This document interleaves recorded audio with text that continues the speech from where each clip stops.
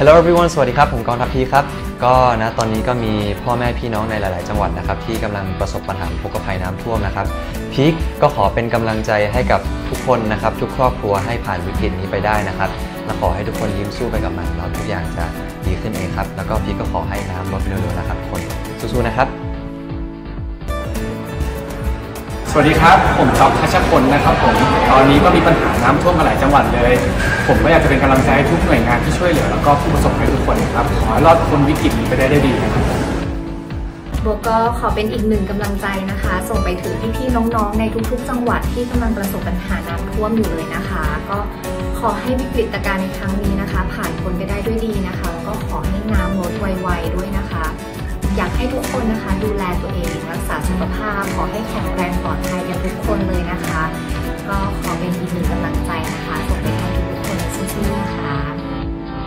ตอนนี้นะครับพ่อแม่พี่น้องชาวไทยหลายจังหวัดเลยทีเดียวได้รับผลกระทบจากอุทกภัยนะครับ ต้องบอกว่าปีนี้น้ำเยอะพอสมควรเลยทีเดียวนะครับ อยากจะฝากไปถึงพ่อแม่พี่น้องทุกคนนะครับให้เช็คข่าวสารให้ดีนะครับ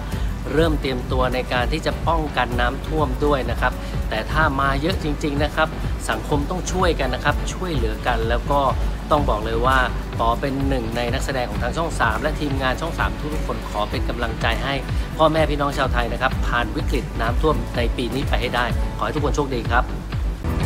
เนื่องจากตอนนี้นะครับ น้ำท่วมในหลายพื้นที่นะครับ รวมถึงบ้านผมเองด้วยนะครับ ก็ผมก็